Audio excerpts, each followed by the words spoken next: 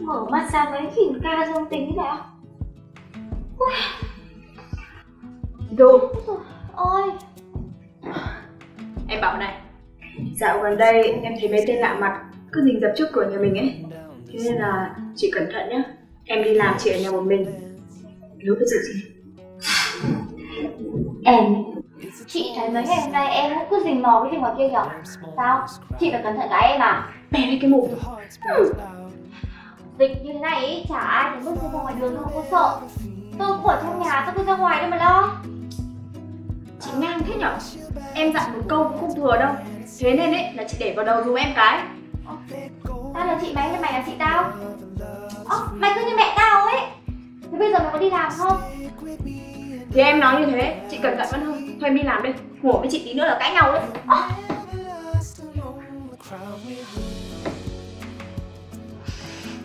Bực mình. Khẩu trang này ta đã tẩm trong mê rồi. Cất cho cẩn thận vào. Tí nữa ta ra tín hiệu. Tí nữa cho nó đeo vào. Ok. Cô bảo hộ ta đã chuẩn bị rồi.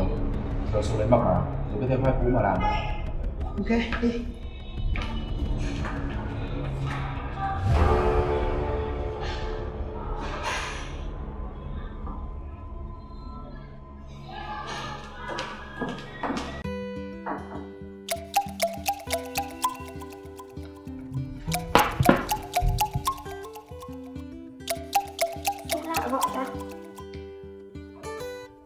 Alo? Dạ Xin hỏi đây có phải số điện thoại của chị Trần Thị Thu không ạ? Đúng rồi ạ. À, chào chị ạ. Tôi gọi cho chị từ trung tâm y tế quận Nam Từ Liêm Theo thông báo ngày hôm nay đã xuất hiện ca mắc mới và được xét nghiệm cho ra kết quả dương tính với COVID-19. Đây được đánh giá là trường hợp nghiêm trọng vì có lịch trình di chuyển khá phức tạp. Những thông tin từ Bộ Y tế nhận được thì chị Thu đã từng đến qua địa điểm mà ca mắc mới này đã đi qua. Để đảm bảo sức khỏe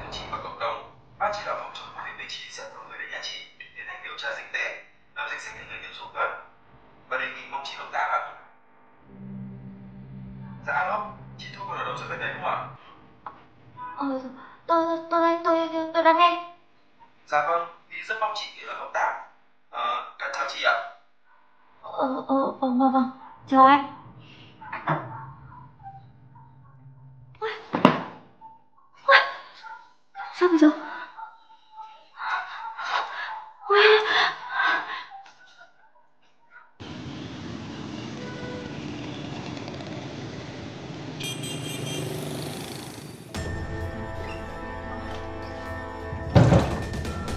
Dạ, chào chị.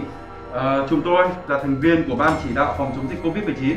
Thì được biết là chị đã tiếp xúc với cả ca mắc mới, cho nên là chúng tôi ờ, đến đây để điều tra dịch tễ. Dạ vâng ạ ờ, Em vừa nghe điện thoại hai anh nói rồi Ừ. ừ, Mà em thắc mắc một tí nhá ừ, Nhưng mà em không biết là em tiếp xúc với ai Mà em vẫn thấy em đi vệ sinh bình thường mà Ừ. Ờ, thực ra thì ờ, cái lộ trình tiếp xúc của cô ấy thì nó khá là phức tạp. À, bọn tôi cũng có biết là cô tiếp xúc với ai đâu. Cho nên là tí nữa bọn tôi ờ, sẽ thử nghiên cứu rồi giải thích lại cho cô sau nhé. À, à em quên, em mời hai vào nhà À, được rồi. Hai uống gì để em cho luôn ạ Ờ, thôi không quan trọng đâu, nước suối cái gì cũng được nhé. Ừ.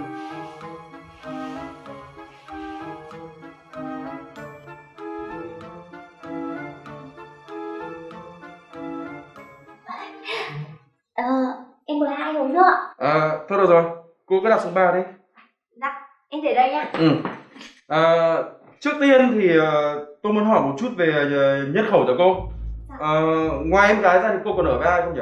Dạ, ngoài em gái ra em không ở với ai Ủa, Sao hai anh biết là nhà em có em gái ạ? Ờ, thì ờ, từ sau khi mà biết được là cô có tiếp xúc với ca mắc bệnh mới thì ờ, chúng tôi đã liên hệ với bên phường thì được ờ, biết về nhân khẩu cho cô. À, Ờ, à, ờ, dạ, ờ, thế thôi ờ, Bây giờ mình đi nào, em chuẩn bị xong hết đồ rồi ạ đi đâu? Dạ, đi cách ly ạ Sao lại phải đi cách ly? Tại sao không phải đi cách ly? Ờ, anh bảo với em là em là em em một tiếp xúc với em không đúng không ạ? Thế à? Vâng À ừ, ừ, ừ, ừ đúng rồi. Ờ, nhưng mà cứ bình tĩnh nhá, nói chung là mình ờ, cứ bình tĩnh. Ờ, chưa việc gì về phải vội vàng cả nhá. Đúng rồi, em hiểu ý của anh rồi Em xin lỗi ạ Ừ. Để em gọi Này này, thế em cô thì đi đâu rồi? Bao giờ về? Em của em đi làm. Em đang định gọi điện cho nó đây đấy Em hiểu ý của anh rồi.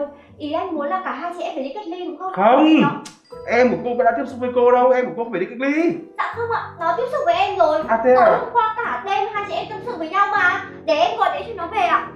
Ờ. Em rồi phải sống vì đồng bào chứ. Ờ, thôi, thôi, thôi này. Từ từ nghe tôi nói đây em cô đang làm việc thì cứ để cho em cô tập trung vào làm việc cống hiến cho đất nước để tạo ra nguồn tài như nguồn tài nguyên ờ, dồi dào cho đất nước cô hiểu không? Chứ bây giờ ấy mà cô mà báo cho em cô là em cô lại ờ, hoảng loạn rồi lại báo cho đồng nghiệp của em cô. Thế là lại kéo theo rất nhiều người khác và gây ra hệ lụy mà chúng tôi không thể kiểm soát được. Cô hiểu không? Anh nói đúng, anh nói đúng. Ừ. Anh nhắc đến mình nó Nó bây giờ đang đi làm việc Tức là tiếp xúc với cả cái công ty này rồi. Thôi chết rồi anh chết rồi Anh phải bảo bệnh viện chuẩn bị nhiều chỗ vào. Cả công ty đó để đấy mà cách ly á, không có chỗ ở đâu. Em mới bảo nó được. Này, bỏ điện thoại xuống. Bình tĩnh nhá. Tôi bảo cô là bình tĩnh. Ngồi im được chưa? Mặc cái khẩu trang đâu không đeo vào. Em, em đi lấy nó không? Sao mày đưa, đưa cho nó khẩu trang đeo vào. Này, đeo vào đi. Em cảm ơn. Anh cẩn thận quá. Thôi buổi dịch giã thế này trước tiên là phải bảo vệ thân thể mình đã được chưa?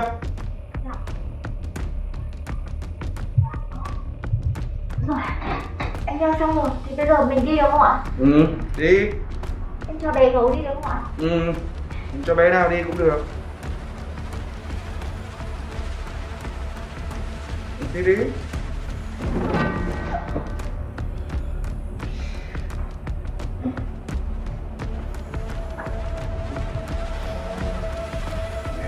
hỏi nhiều quá tí thì lộ mẹ ạ. Ai, đấy ta đã bảo. Lừa đảo ấy là phải có kiến thức. Chứ cái, cái loại lừa đảo ngu si như mày ấy cái bóng hút man hiểu không? Lừa đảo là có lừa đảo gì lừa đảo khác. Như cái con này vừa rồi nó học đống công thế. Mày có chơi được không? Mày hiểu không? May mà gặp tao mày hợp tác với tao là quá chi lý mày hiểu không? Mày mà gặp một đứa khác ấy là Thôi thôi thôi thôi thôi nhá. Mày nói nhiều hơn cả nó đấy. Ừ. Vào việc đi. Ờ thì, thì, thì, thì, vẫn cứ như cái cũ nhá. Thì bây giờ tao lại không lục lọi người nó. Mày vào trong kia xem có cái gì khoáng nhanh lên con em nó về. À, Được rồi, cái nào đi.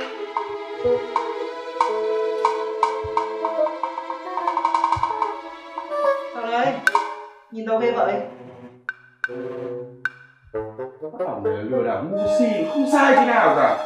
Mày được rồi mày cứ ngồi đây à Ta còn có câu. Trời đánh tranh đến ai Em lúc đã Có gì đâu mà Trời đánh tránh vào cái mặt mày ấy. Nhanh lên con em nó về Tao phải hiểu kỹ rồi. Con em nói Phải tối mới về cơ. Cứ từ từ. Nhanh lên. Không biết lúc nào nó về cả. Làm việc kiểu như mày ấy. Không được mà Nhanh. Rồi. Kéo như con lợn ăn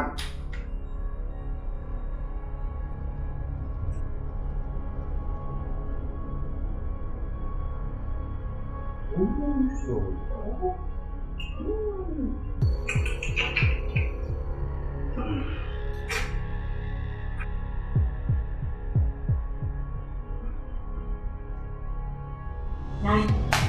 trong vali còn tiền này? Nhiều tiền đâu luôn á Đi cách ly bao nhiêu nhiều tiền mà mở ra mà đấy Biết rồi nhưng mà Mất khẩu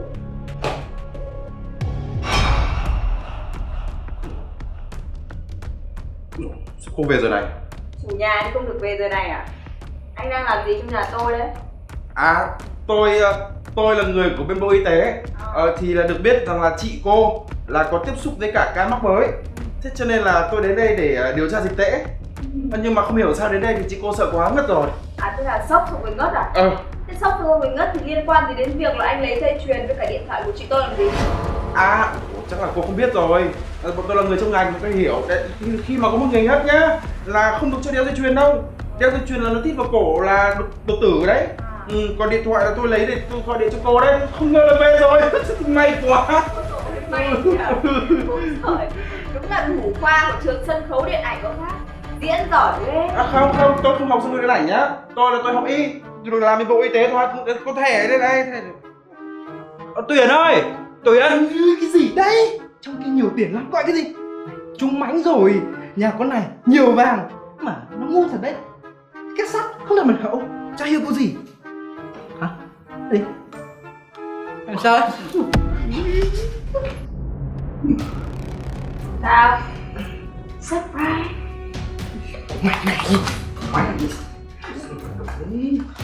Mày cầm đi Thôi Không phải đùn đẩy nhau nữa Đằng nào cũng phải lên phường một thể.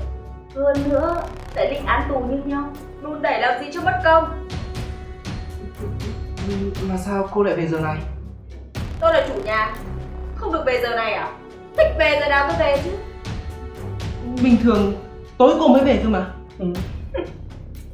Dạo gần đây tôi thấy có hai thanh niên Luôn theo dõi trước cửa nhà tôi Và theo dõi từng hành động cử chỉ của chị tôi nữa Thế nên là tôi sinh ra nghi ngờ.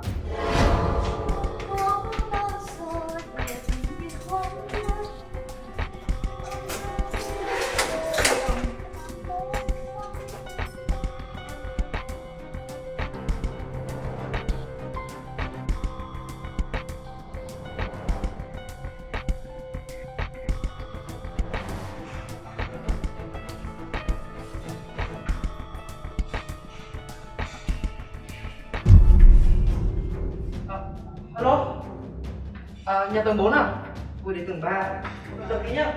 Các người cũng giỏi lắm, thủ đoạn thì cũng tinh vi đấy. Nhưng làm sao mà qua được mắt tôi Sau khi nghi ngờ các người có những hành vi lạ thì tôi đã theo dõi hai người Thì biết được toàn bộ ý tưởng kịch bản mà hai người lừa chị tôi. Tôi đã quay lại toàn bộ cuộc nói chuyện của hai người Cũng như việc hai người tập thuốc mê vào chiếc khẩu trang. Đưa nó cho chị tôi khiến cho chị tôi ngất đi Để dễ dàng thực hiện được hành vi lừa đảo chiếm đoạt tài sản của mình. Khổ nỗi là trình độ diễn của hai người và hành động của hai người còn phèn lắm Thế là bị tôi phát hiện ra mày mày kêu là mày tìm hiểu kỹ lắm rồi. Mày đùng đỉnh mày còn nói nốt quả nhá nữa. Thế bây giờ mày mày bê đi nhá mày xin đi nhá để đi về đi. Về đâu? dạ. Bọn em xin lỗi chị. Bọn em xin phép chị. Bọn em đi về. Bọn em sẽ rút kinh nghiệm lần sau cẩn thận hơn. Các anh nghĩ tôi là trẻ con để các anh qua mặt tôi đấy à? Hả? Mọi hành vi lừa đảo chiếm đoạt tài sản cũng như là giả danh cán bộ y tế làm những việc phạm pháp như thế này ấy. Tội của hai người không hề nhẹ đâu. Trước khi về tôi cũng đã báo công an rồi.